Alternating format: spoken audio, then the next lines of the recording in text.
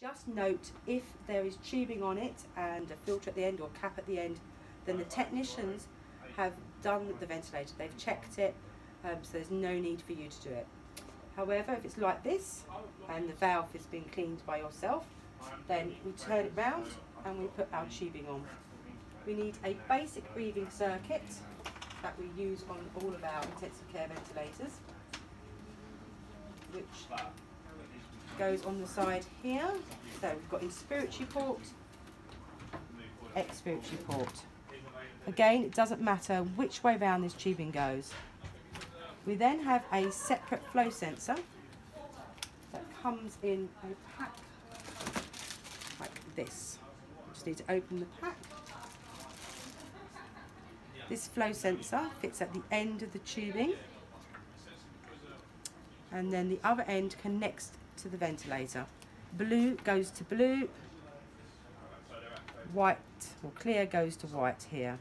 Make sure you push them on fairly tight because you can have issues with leaks there. I'll turn the ventilator round.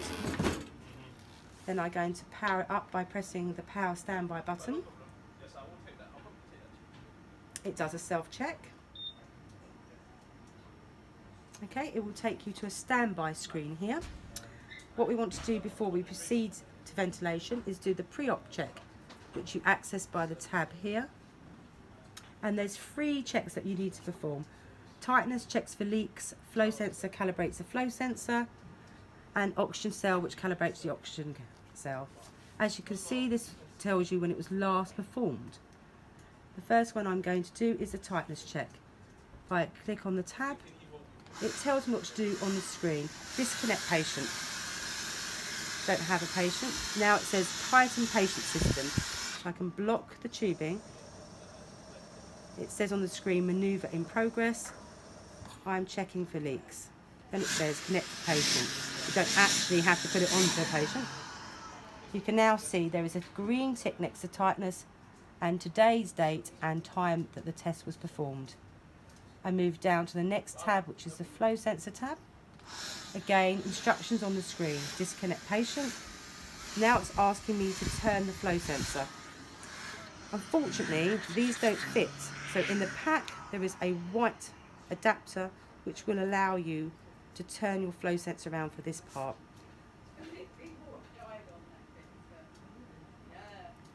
It's currently saying manoeuvre in progress.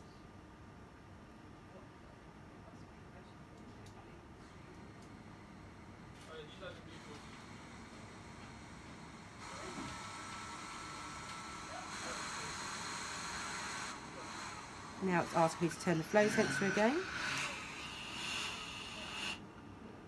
Manoeuvre in progress.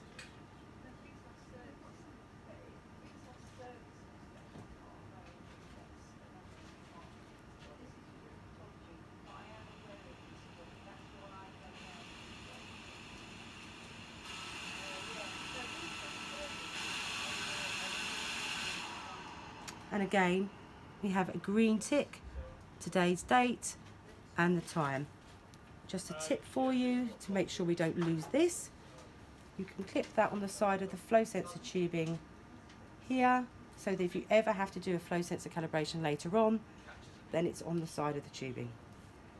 Moving down to the O2 cell, clip on the tab, automatically starts. User doesn't have to do anything. Takes a couple of minutes. Okay, once the oxygen calibration has finished, you can see we have our green tick, our date and our time. That's the pre-op check finished. We can now hit the X button here and we can then proceed to start ventilating by checking our modes, alarms and pressing the start ventilation button.